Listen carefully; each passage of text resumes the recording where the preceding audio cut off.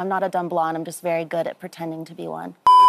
This video got me really curious because while most people would want to come across smart or intelligent, Paris Hilton decided to hide behind this dumb blonde character so it got me thinking, and then I started to see a pattern. There was Karen Smith from Mean Girls, played by Amanda Seyfried. Then there was Ariana Grande's character, Cat Valentine, from the Nickelodeon show Victorious. Then there's Joey from Friends, and you guys know Friends would not have been as iconic without him. If we move out of the world of TV shows, we have Adam Sandler, who literally built his career on the back of playing these dumb but lovable characters. Who remembers Happy Gilmore and The Wedding Singer?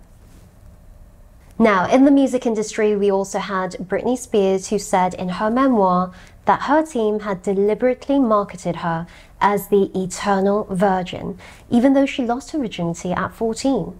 So, why did they do that? I mean, I don't believe in pitting women against each other, but if you were a 90s kid, you'll remember the whole Britney versus Christina saga. The difference in popularity shows you that there is something about the sweet and the innocent that people just like. Another duo that comes to mind is Anne and Mary Boleyn from The Other Boleyn Girl. Guess who gets away drama free and who is beheaded by King Henry VIII?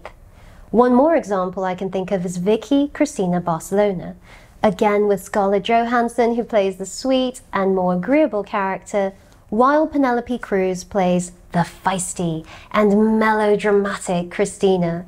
Guess which character the audience rooted for, and which character evoked more feelings of annoyance despite her strength and confidence.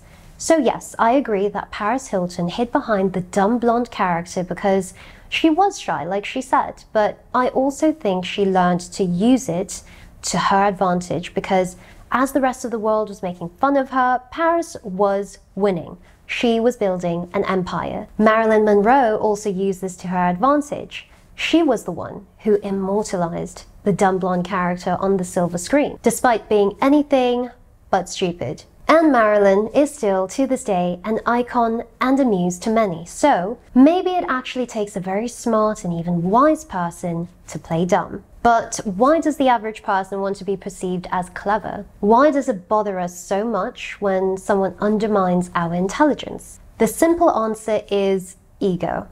For the person with a healthy and balanced ego, it might not make them very happy to be perceived in a negative way, but it won't bother them as much as it would someone who doesn't have a healthy and balanced ego. The healthy person won't feel the need to people please or overcompensate by being a perfectionist. The person with an unbalanced ego will, because they are acting from a place of fear and mainly a fear of rejection, these responses are trauma responses.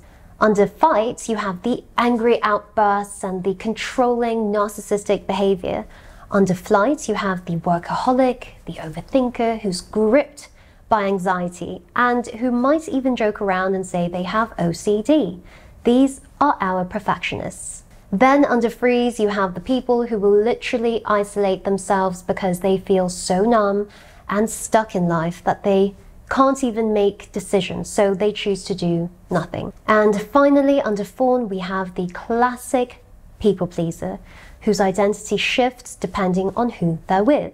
They have no boundaries, which leads to them being easily overwhelmed. Ariana Grande seems to be living in this trauma response, but that's just my opinion. So, where do these trauma responses come from? They come from inner child wounds that usually happen in childhood. There are four types of inner child wounds the guilt wound, the trust wound, and the abandonment or neglect wound. Now, a lot of people might not know the difference between abandonment and neglect, but it's very important. Abandonment is usually when a parent walks out of a child's life completely. Neglect, on the other hand, is when the parent is still in the child's life but neglects the child by not providing basic needs such as food, clothing, or emotional needs. It's essentially when the parent doesn't acknowledge the child's existence. And it's important to know the difference because some of my clients will struggle with their mental health, but don't understand why because I had both my parents growing up and they gave me everything. But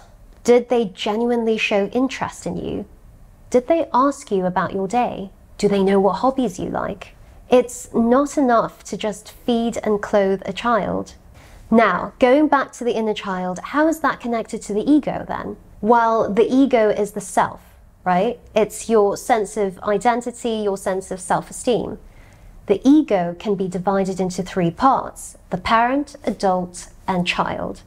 The child or the inner child can then be divided into two parts the adaptive child who makes emotional decisions based on past experiences and who is all about self protection.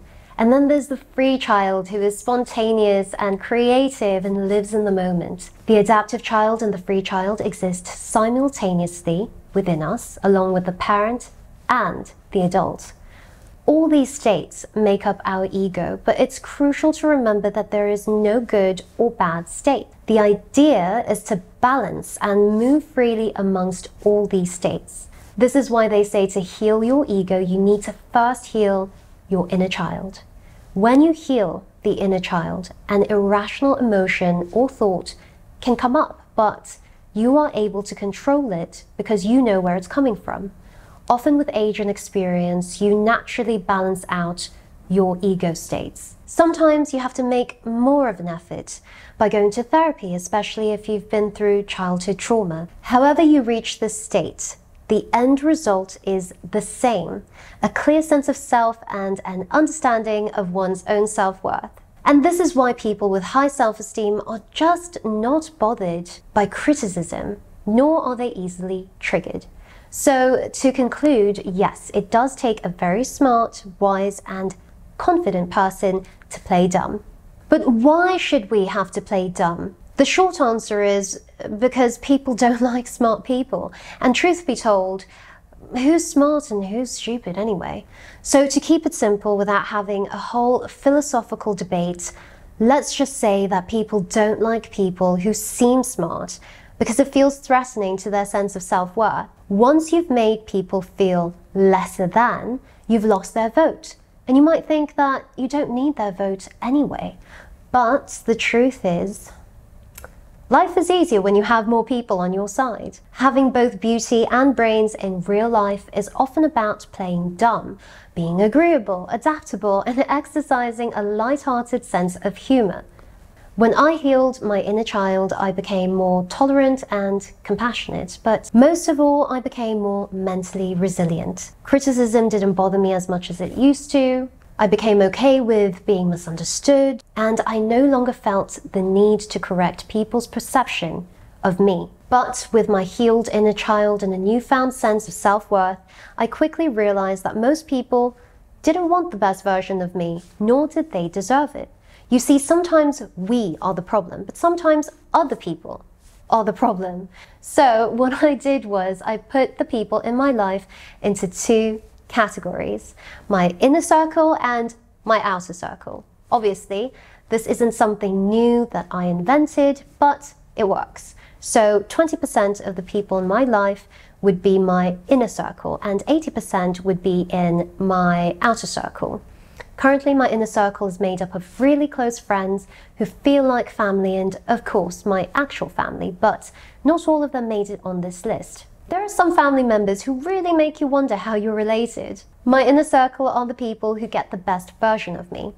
I can be myself completely, speak my mind, and know that I won't be judged.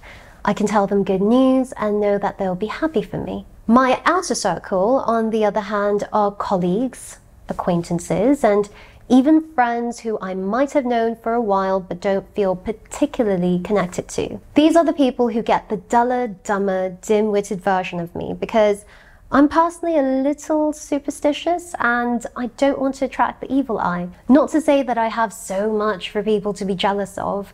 Jealousy doesn't work that way. It could be anyone. As long as you have what another person wants, you're going to be the object of that person's jealousy. So I'm not anything special. But more than that, I just don't want to share too much of myself with my outer circle simply because they don't know me well and I just want my life to be easy. My motto is low key, low drama, high vibes. So here are some tips on how to play dumb effectively. Number one is to talk less, listen more, and show interest. The best way to win someone over is to show them their own value by asking questions and showing genuine interest in who they are. You might even learn a thing or two. Number two is to be agreeable. Most of the time. Share viewpoints that you know they'll agree with and try not to directly disagree with someone. If you happen to disagree with someone, just ask more questions like, Oh, really? Why do you think that? Number three is to just be okay with being misunderstood. What matters most at the end of the day is how you feel about yourself and that you are a good person. Number four is to fight the need to win. Once you heal your inner child, you'll be okay with being misunderstood, and naturally, you won't feel the need to fight or correct people. And last but not least, use humor often, but never in a way that makes people feel they might be the butt of your joke or that you're mocking them. Self deprecating humor works best. Keep it light-hearted and fun. It's not that deep.